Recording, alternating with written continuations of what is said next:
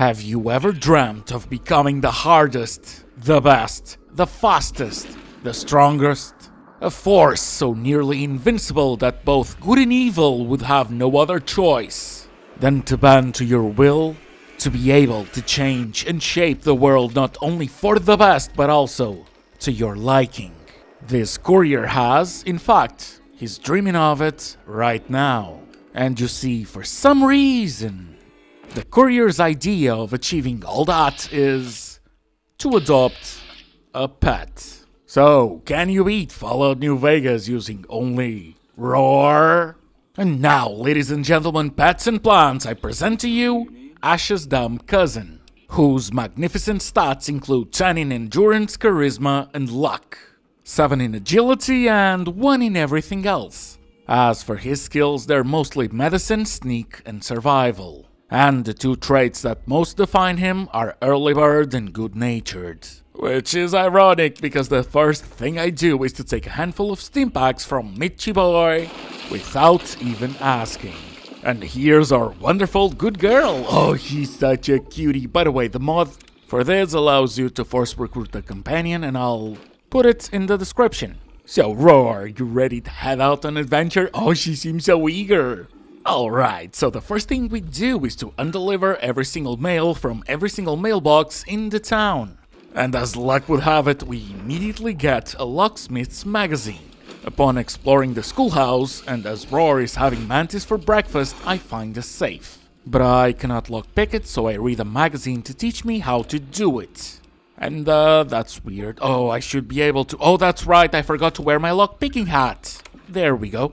We get some goodies, sell everything we don't need to Chet, and I'm worrying about Rawr. Won't she miss her kin when she's adventuring out with me? Cause it's going to be a while and I can't take any risks, so maybe we should visit some of her friends. We'll see how it goes and how she feels. Also, it's not like she can talk. Hey, dude. Holy shit, no, no, we're not doing that. Upon reaching the Yangtze Memorial, the brain injured courier fortunately stopped hallucinating. I got some more steam Stimpaks from the abandoned shack and eventually reached Sloan. There are Deathclaws all over the damn place north of here. I'd turn back if I were you. Um, there's one right here. And I'm gonna do the butter-free test and see what she does, buddy. Oh, oh, uh, okay. Damn! That was a young one, too. Oh, she's ruthless. Maybe she's just not into being around kids that aren't hers, if she has any.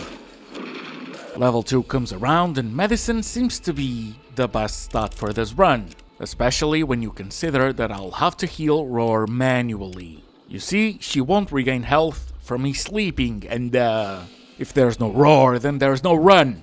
Cause obviously I cannot fight back, not in this one. And she sure seems to hate Deathclaws. Maybe she only likes the alpha males? Uh, apparently not. Oh hey, I found a fat man. Maybe we can sell it later.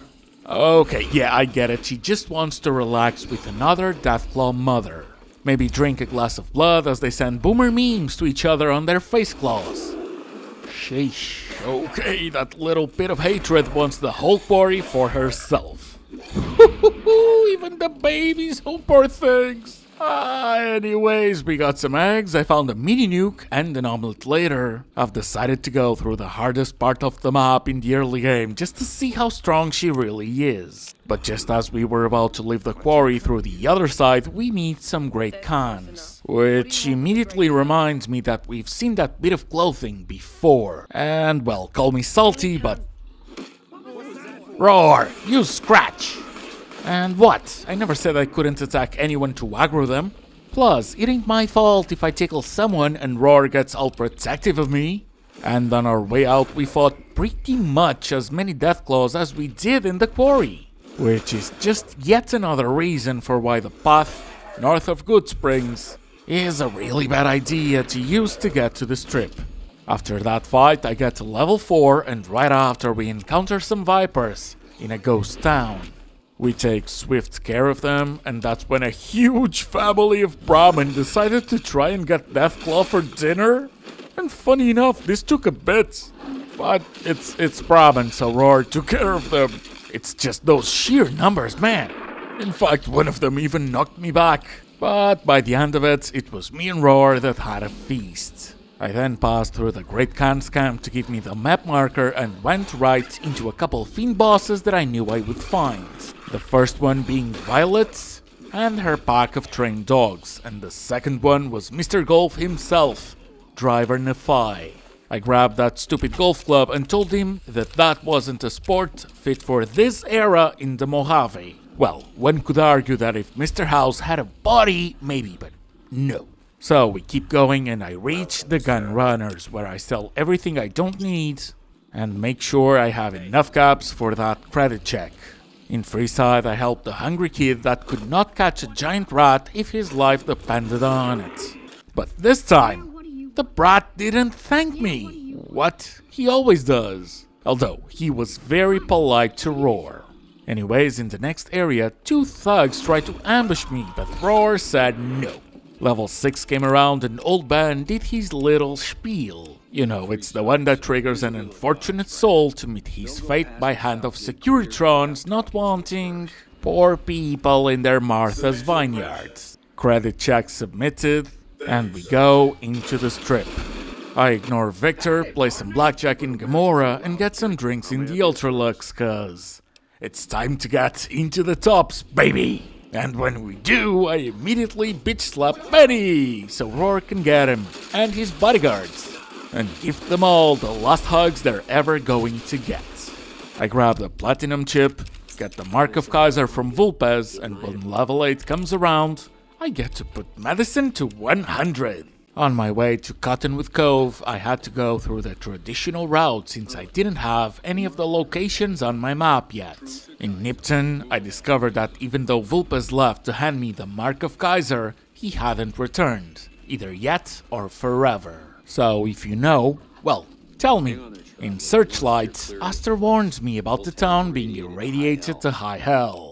But when you're hoarding cams and got a living dinosaur guarding your back, you don't worry about such things. Then, Anders tells me how Caesar took his cosplaying a bit too seriously and begs for mercy. Well, he asked for help, but we either mercy him or we leave him be. And I did try punching him to see if Rawr would do it, but she won't. And that's when I remember that I still have the Fat Man.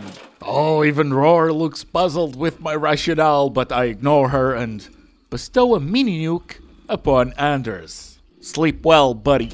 In the cove, I present the Mark of Caesar to the Legion Explorer and meet When will we be free? Mrs. Weathers. I pickpocket the gate guy and hand her the key, which turns the whole camp against me.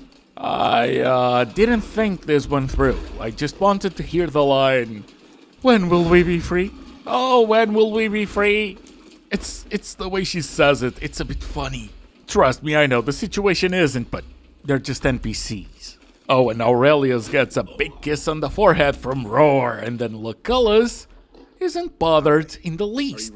Okay, I'm just hoping that this whole situation is something that the Legion in the fort will tolerate as well. And uh, they do. Good. The main gate guy then quits his job just to become my mini nuke launcher's babysitter. And we go on to meet the most important bald guy in the whole west coast. He returns the platinum chip to me as he wants me to destroy everything we can find in the fort's bunker. And on our way there, I'm going to go and meet someone that I wanted to help in the last run. So I'll do it on this one Melody! Oh, that's right. I don't even need the speech, just low intelligence. Oh, that's a lovely detail. She wants her teddy bear back, the one that Anthony took for his trained dogs to play with. And when confronted, he then decides that the best idea is to put me in an arena with his dogs. Not just that, but his best dogs. The thing is, I can't use the weapon he gave me. Not for progressing things, that's my rule. So either Rawr comes with, or I'll have to reload and not help Melody. Fortunately, Rawr did come in. And so we get Sergeant Teddy, and you know what's better than one? Two Sergeant Teddies! Sergeant Teddy! Oh well. In the monitoring station, Mr. House then asks us to upgrade his army of Securitrons for him, and going in. Rawr's not really coming with. She's stuck in the hallway. Meanwhile, a Protectron's shooting at me, and I'm just thinking, what am I supposed to do? Cause this is just fun, we're gonna have plenty of turrets and Protectrons. So obviously, I start running like crazy and melting my Stimpack supply, just to keep me breathing. I do manage to upgrade the Securitrons and dip. The Baldy then asks me to take care of Mr. House, and I give him my good word on it. And lo and behold, we become accepted by the Legion, and not long after, a disguised Frumentarius tells me the location of a hidden cache. The one that the Legion gives to the ones that aid them, it's just by Sniper's Nest, but it only shows up after the Frumentarius, so don't bother looking it up without triggering that NPC. Also, the loot is a whole lot of money. Nice, even if it is just Legion currency, but that's okay. I then make my way to Sloan, where I profusely apologize to Snuffles for what I did on the previous run. Oh, he's such a cutie. I then leave just in case Rawr gets jealous and starts yet another massacre. We pass through Hidden Valley and go near Black Mountain just so I can feed Rawr and watch some, if not my favorite creatures, in the whole franchise Centaurs. And Rawr takes care of Mo so quickly that I couldn't even see it. And as she's having lunch, I go into the crater just so I can start glowing in the dark. And as a side effect, I also took the Brotherhood's mission holotape from the two poor souls that did came this way. Going back to the Hidden Valley and Rawr uses some bark scorpions as toothpicks. And that gets me to level 10.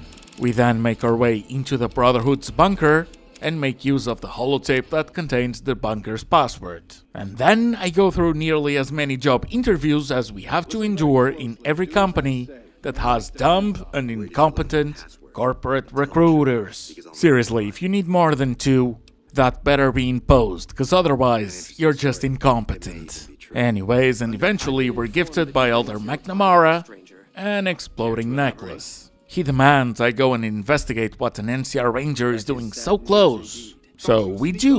I then punch him in the face so Rawr can take care of him and go back. And this triggers one of the most stupid conversations the game has. How did you resolve the situation with the ranger? Violence. Did you just make matters worse? I sure hope so. This man put an exploding collar on my neck and thought I'd become a Brotherhood asset? Oh, he must be a brilliant and misunderstood genius. Cause who else is going to decide to not only do that, but to free me from it and allow me to freely move in their bunker from now on? And I mean, it is a good mechanic for the game, it's just not the wisest thing ever. And oh, this experience was so traumatic that the courier then starts running like crazy until we see a boomer.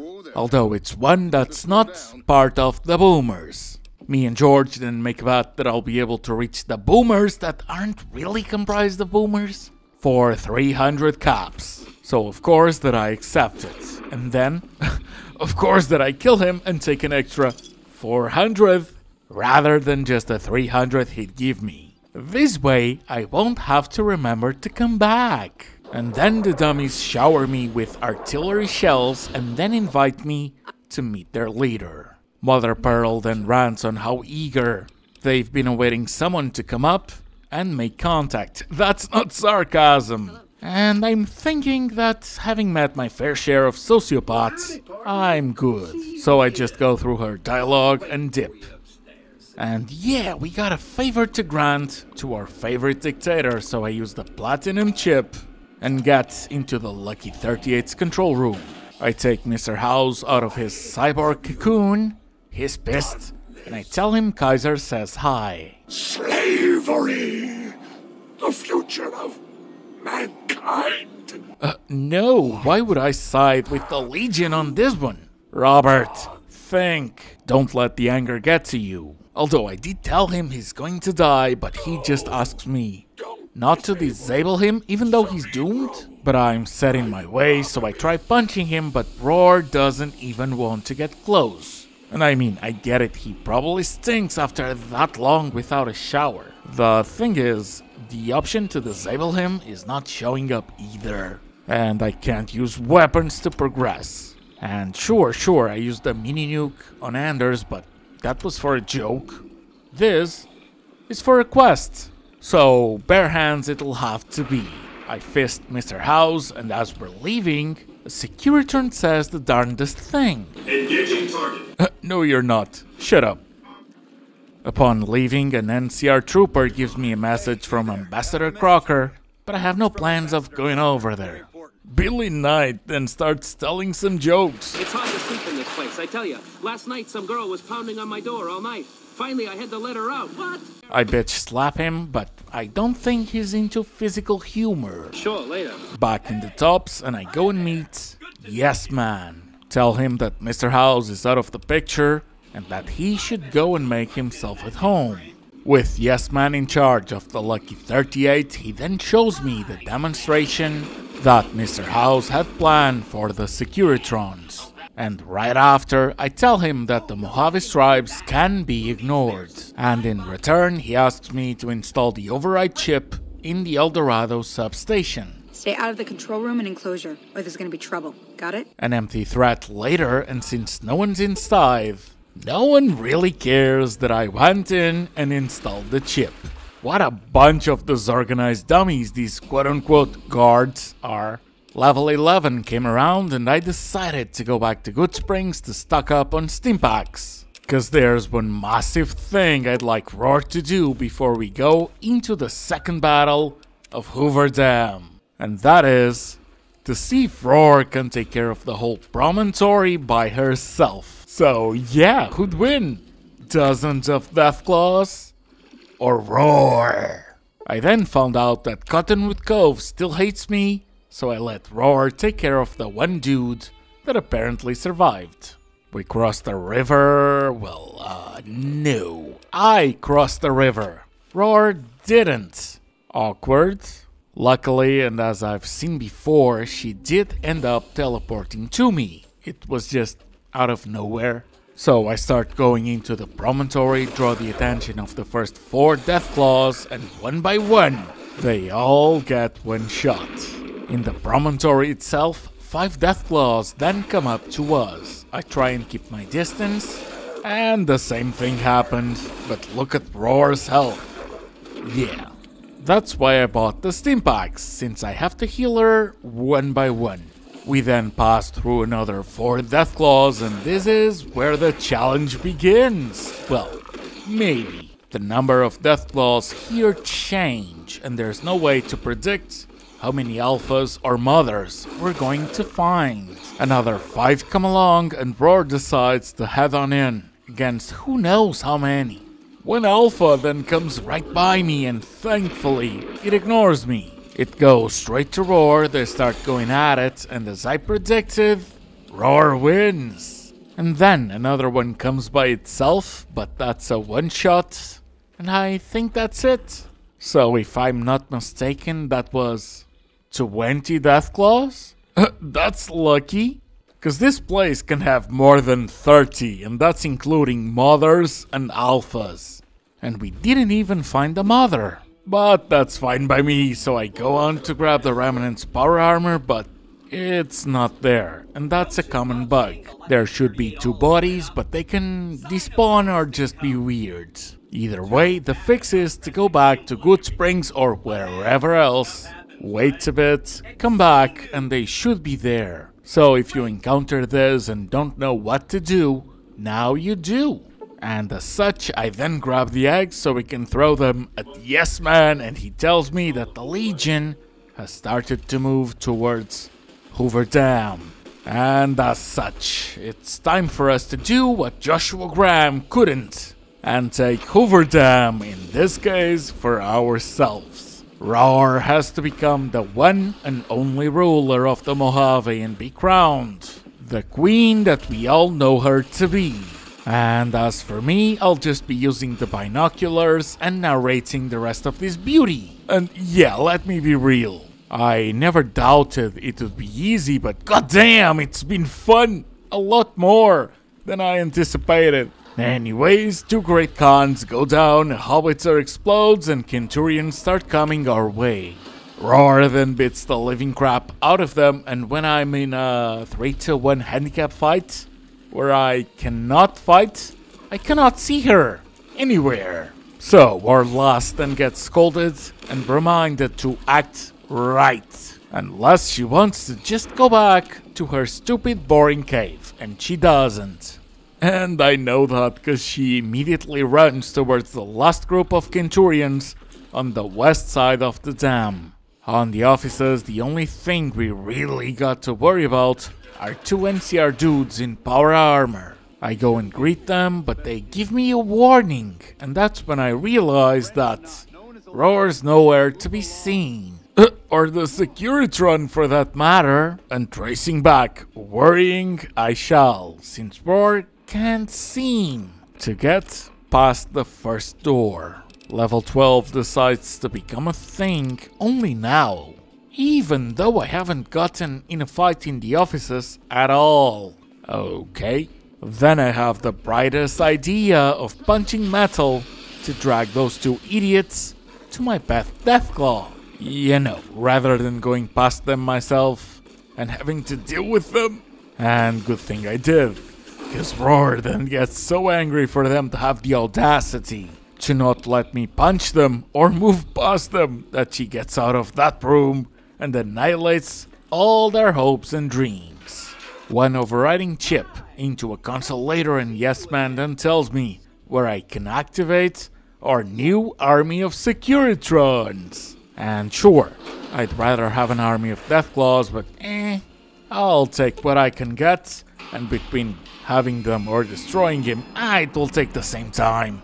Uh, and let's be honest, we got here, so it's not really gonna make a difference. Anyways, the army's activated, and to the east side of the dam we go. Where once again we'll find groups of Centurions trying to pet that dog. Except, they do it with their bullets, so Rawr shows them how she'd like them to do it. And unfortunately for them, oh, she can't really seem to control her strength. Poor thing.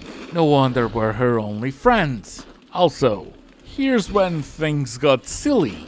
I meet the second group of Centurions and uh, she's in Fuckwaresville. Again. I tried plenty of shenanigans to try and get her to come close, but she simply won't. And by the time I remember that I can just run and that she'll spawn alongside me in the Legate's camp, ah, the Securitrons have all been defeated. I guess my brain cells were too busy to remember to heal. But once I have all my brain power active and focused, we're able to run until the Legate's camp. Everything is smooth. Some guy tries to show me his power fist, so Rawr shows him her talon. And in the camp itself, we take care of everyone except the beef. And I mean, I know she's well fed, but come on, it had to be the security Securitron to actually take care of the Brahmin? Oh, I guess the dumb thing was just dumbfounded on how chill they were. And a Stimpack meditation session later, and it's time to go and meet the terror of the East, Lanius. I make sure to piss him off as quickly as I can, and guess what?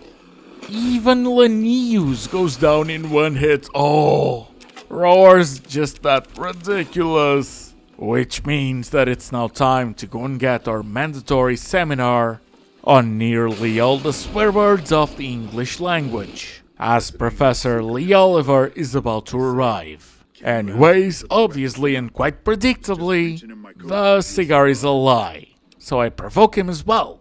And then both Rawr and the Securitrons try and see who can get the most kills. They try to go halvesies and they both succeed. And can you beat Fallout New Vegas using only Rawr? And of course you can. Who'd even think of such a dumb question? Oh, right. Uh, anyways, I'd like to give a huge shout out to Steve Whittle and to John Walker for their support of the channel. Thank you so much for watching. I hope you've enjoyed. I hope I'll see you on the next one. And I hope you have a good one. Bye. And I. I guess I'll see you around. We accomplished a lot together. It was fun. Take care.